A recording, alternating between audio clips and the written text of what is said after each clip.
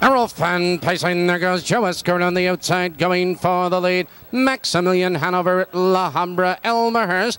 Into the turn there is son Joe Escort. Joe Escort is up to challenge and take command. It's Maximilian Hanover. In second by two lengths, La Habra Elmerhurst. In third, there goes Noble Statesman. Now charging third on the outside, followed by La Habra Elmerhurst. There goes Cotton Sock. Surging into fifth, followed in the turn by Lake Hills Jeb. They're by the quarter. 29 seconds and Joe Escort has the lead on the reel. It's Noble Statesman on the outside of challenging second. It's Cotton Sock edging up in third. Maximilian Hanover holds in fourth, followed on the outside. Try Nitro, La Habra Elmerhurst, Lake Hills Jeb, and Lake Hills Jeffrey. They're moving for the half. Joe Escort has the lead on the outside. Noble Statesman right there in second. Maximilian Hanover in third and on the outside. Cotton Sock fifth. 57 and 4 for the half. Into the clubhouse turn, and Joe Escort maintains the lead with Noble Statesman on the outside of challenging second. Maximilian Hanover